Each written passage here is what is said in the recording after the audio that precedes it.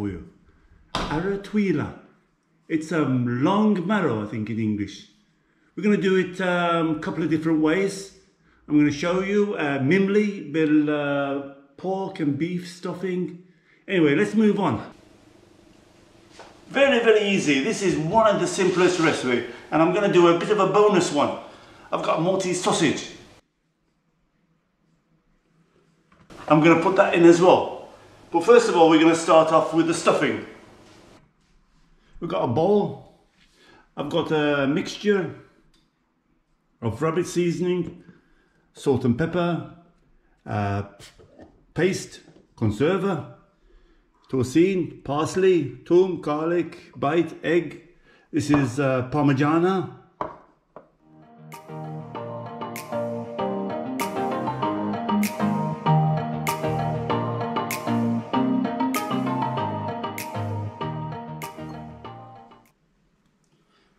basil, onion, and this is a mixture.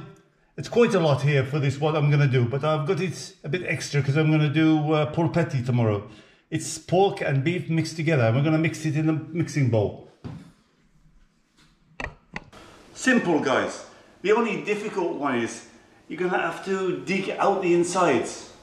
So you find something a bit reasonable size. Because what we're going to do is boil it on the hub. So cut some equal size.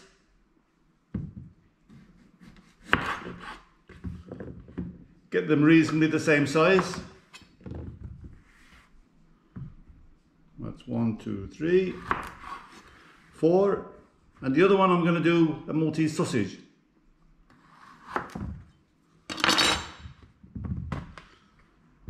These are a little bit long, I think I'm going to do them a bit smaller. I think that's better.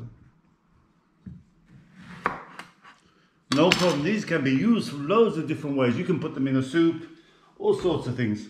Let's make them a bit smaller. Because I've got to, I remember I've got to close the lid, so I'll show you.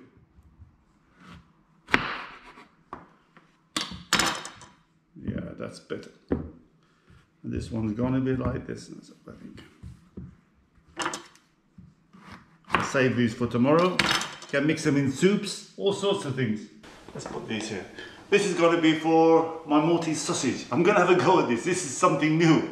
I, I was driving along and I was thinking, how am I going to do with the stuffing? And I said, I've got a Maltese sausage. Here is a lovely Maltese sausage. I'm going to do a special video on this Maltese sausage because every butcher has got their own way. You can't say it's got torcine, it's got uh, garlic in it, it's got uh, Oh, everybody, every butcher has got a way to do it. And I've got a local one, Balzan, and I'm trying to talk to him. Some people are a bit camera shy. Uh, can I come in and see how you actually make the sausage? So that's why I've been holding that video back.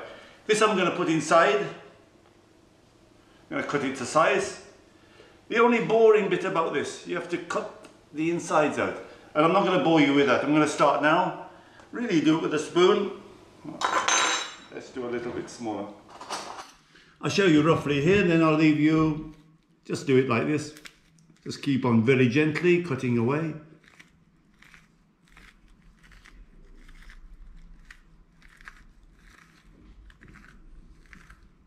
This is the best. That's a, very, very easy.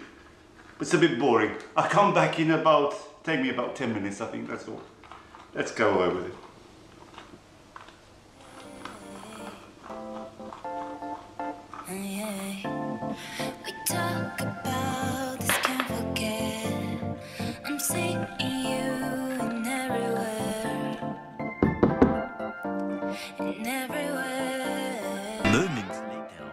Back guys, this is the simple way to do it.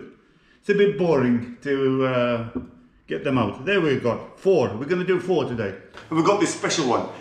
This is uh, a bit of a bonus and it's an experiment, so if it flops, I'm to cut it off the video. anyway, there where we've got the uh, aratuila. It's long marrow, I think it is in English.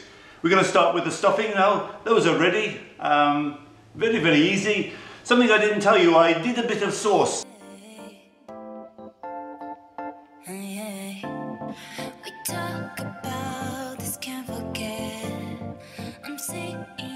Did a, uh, they call it brodo in Maltese. It's carrots, onions, uh, celery with a, with a cube, like a chi chicken cube, uh, a bit of garlic and some conserva. But you can put any sauce. The idea of the sauce is so it steams the uh, ara. Now this word, ara, with the Q, Q-A-R-A. I'm sure the Maltese expats are laughing at the moment. This is close to another word, which you're not supposed to say. And when I first came to the island, I used to say it. Um, I know, it's not going to be rude if I say this word can be pronounced with a H. And everybody used to laugh at me and I say, well, what, am I saying wrong? He says, you, you're pronouncing it wrong, you should pronounce it with a Q, with a uh, not with a H.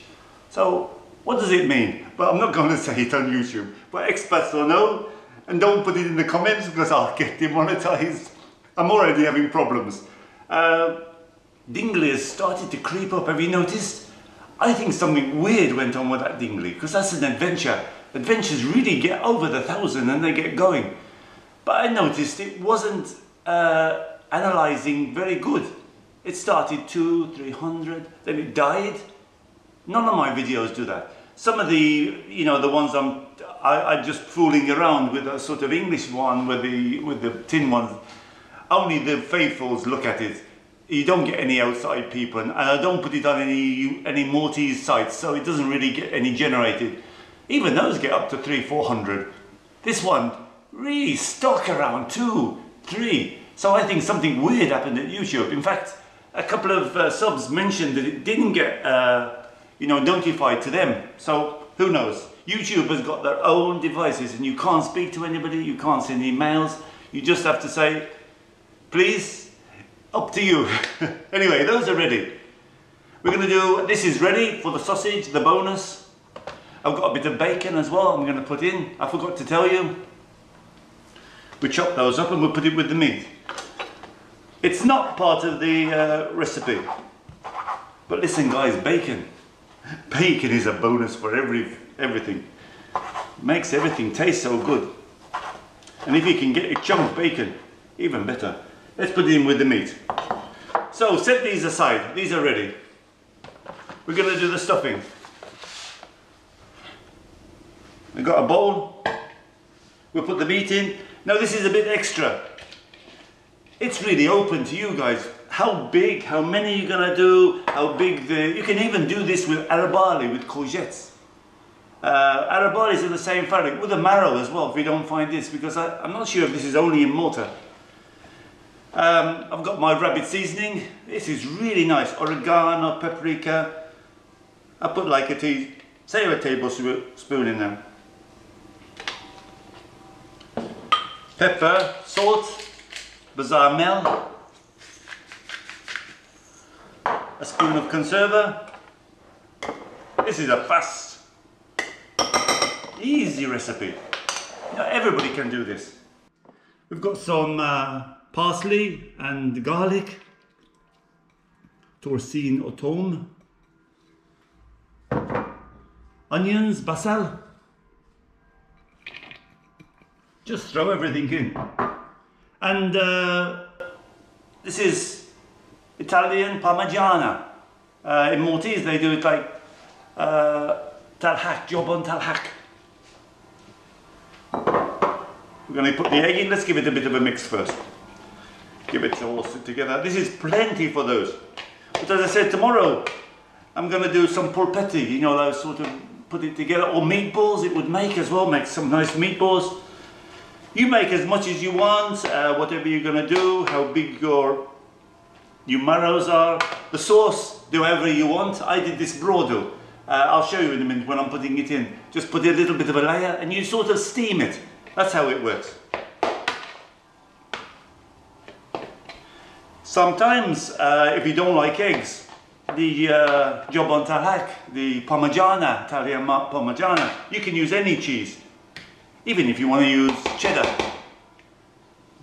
Nobody's stopping you. Cooking is just open for everybody. Put an egg in there. This sort of stops it coming out a bit, binds it together and gives it a nice rich taste.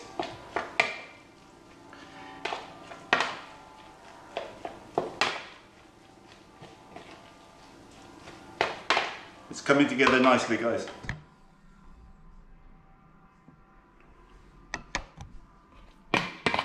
Very, very easy. You know me, guys. I'm just looking for the easy way out always. With a good taste. Something I can maybe freeze and, and eat in the week. Maybe make four or five, put it in the freezer, take it out and make a fast, easy meal. This is ready. So let's, we're to use this um, saucepan. And again, very, very easy. Just stuff it full. Mimli, they call it in Maltese. Aratuila Mimli.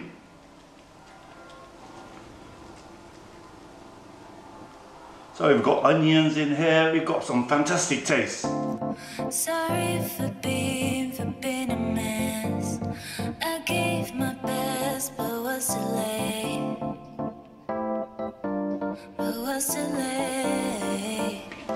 I'm looking forward to this sausage one. I'm gonna, I was driving along and I thought, you know, like I want to make something a bit different. I haven't prepared the uh, the saucepan. I've got to find a big saucepan for it because I don't know how big it's to be. So easy, eh guys? Fill them as much as you can. Pack all that goodness inside it, look.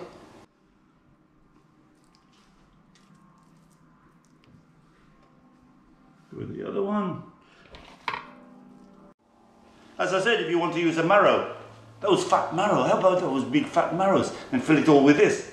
Cut it sort of uh, I never thought of that. That would be quite nice. A big marrow.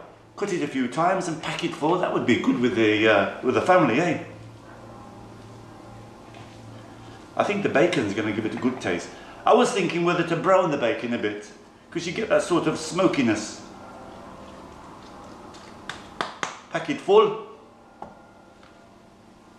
I made these a bit, bit long because uh, I was thinking about the lid. It's not going to fit on very good. But you can make it any size you want. Fill them up full.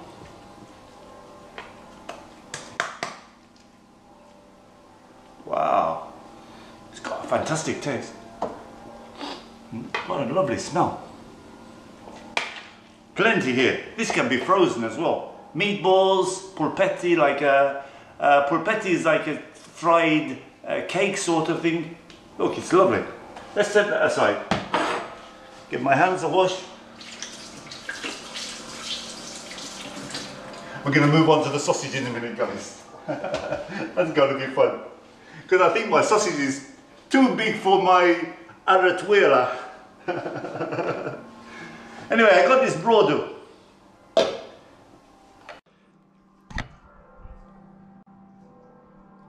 Very easy mixture, but as I said, it's open uh, you can do tomato sauce in there. Uh, if you want to make some, uh, oh, uh, just anything you can put in there, like a bit of a sauce.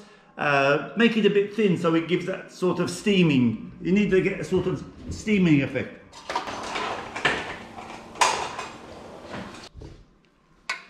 This has got a uh, bit of potatoes, carrots,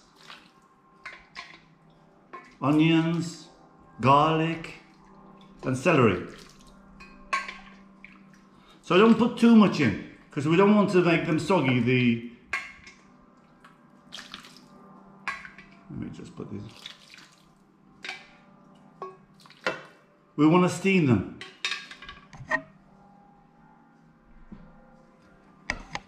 Put the cover them just right. If I made them too tall, they would have been touching to the roof. Okay, let's get those on the go.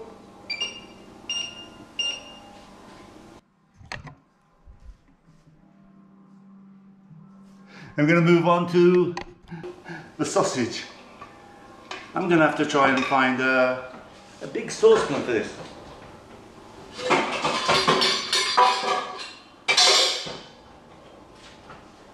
And I think I'm going to thin this out a bit so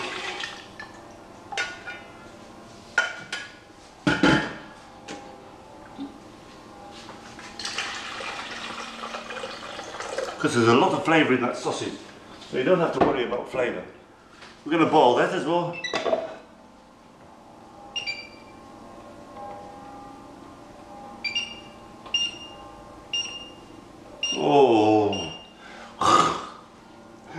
Drive me crazy this. Sometimes it doesn't, just switches off. Okay, we got that on the go. We're to do the sausage. I think that's what I'm looking forward to. Bit of bacon. And I'm to try and I'm going to try and wrap this sausage. I don't know how it's to go. In the bacon. Yeah, it's going in. I think one would be enough now.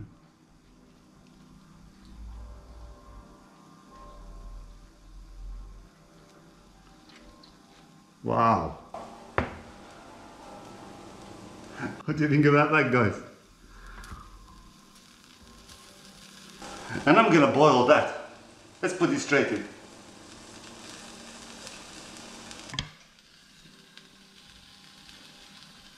Let's see what happens. Just a quick idea I had. I've got a bit of bacon left over, we'll put it in with that. No problem. Let's get that boiling. Uh, the sausage is to be boiling as well. Hopefully it doesn't leak out. That's a bonus, so if you don't see it, you know I'm to cut it. That cooks for about, say, give it 30 minutes. Test the side of the, uh, the courgettes, I call them, uh, Arab tuile. Uh, see how it is. It's to steam, it's to boil, it's to get cooking, it's all that goodness is to go straight inside. Back in about 30 minutes. Uh, let's see what's happening. Many, many minutes later. Okay guys, I think we're ready. Um, it's been about 40 minutes, something like that. Um, but don't think you're going to get away with it. Depends on uh, how much you boil it for, how much sauce you get in. I estimate about 30 to 40 minutes. Keep trying it. Uh, you can't really tell you exactly because you obviously you just pushing a little bit, see how tender it is. Uh, let me see. Oh. Wow, it smells fantastic. Hmm. Really fantastic smell. Let's see how they came out. The problem is trying to get them out in the hall. Yeah. yeah. Let's put two. I'm feeling. Oh, got the sausage. Oh, I've got the Maltese sausage as well. I forgot about that. There they are. Get a bit of the sauce over the top. Oh, I use the. Uh, where did I use it? you wouldn't get this on BBC, would you guys? So you've got the potatoes here. You've got the carrots. It's like, uh, you know what? Um, this is. This is uh, a, a, soup in Maltese, brodo, it's called.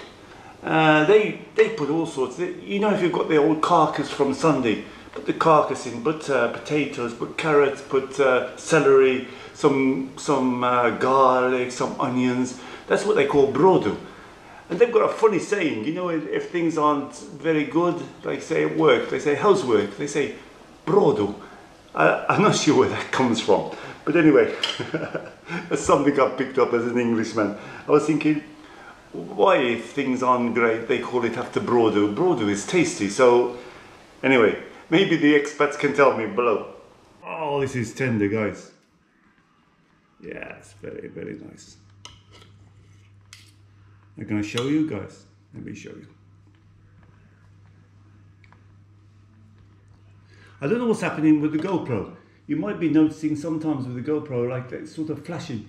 It might be that these bulbs are energy savers or they're uh, something that's clashing with the GoPro because it doesn't happen with the Sony. It only happens with the GoPro. So I don't know. Mmm. That's really good. And you know what the uh, the brodo, the sort of I don't know what what would you call that in English brodo, like a sort of um, a stock, uh, a chicken stock. Oh, that's really good. Potatoes lovely and tender. Hey, let's try the sausage, guys. That's good. Make some mashed potatoes if you want, if you just want it like that sort of vegetables. Make a few more vegetables and potatoes, put it in with it. Oh, you know, it's so versatile. Stuff this with whatever you want if you're vegetarian. Like I hear a lot of comments about vegetarian. Put it with cheese, put it with beans. Uh, somebody told me there's a there's a, a nice mixture in Malta called uh, bigilla. they stuffed it with bigilla. That's, you've got that dip of bigilla. So really you can put any sort of dip in there and it would come really nice. Make some egg with it so it binds together. Hey guys, let's look at the sausage. Wow, let me switch off. I'm going to try and get that out guys. I've got to try and get the sausage out. let's see what happens. Here it, ooh, not so good. Here it comes. Wow. Maltese sausage. Hey, let's bring the GoPro a bit cheaper, bit, bit nearer. Oops.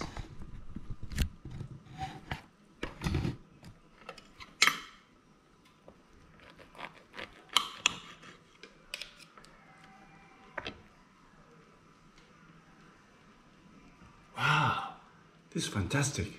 Hey, this is a this is a new invention of Englishman. Aratuila Bill Salsate Malti. You know, I like a lot of Maltese. This sausage is everywhere on the island, and it's as I said, every butcher has got a different idea. He mixes with the different. Uh, uh, all, all, sorts of spices and uh, tocine or onions and things like that. Maltese like to eat it raw. Now I don't like really, I got off that sort of meat raw business. Uh, when the mad cow thing came in, I got a bit nervous about it because I used to have my meat sort of semi-rare. And now I cook everything like crazy because there was a guy in Malta that suffered from this laham hazin, like bad meat. Got me a bit scared. I thought, it could be inside them. So I cook everything. So eating raw sausage, I'm not sure. I'm not sure about it. So uh, Maltese do eat the, the Maltese sausage raw, but I cook it. Mmm, Maltese sausage is beautiful.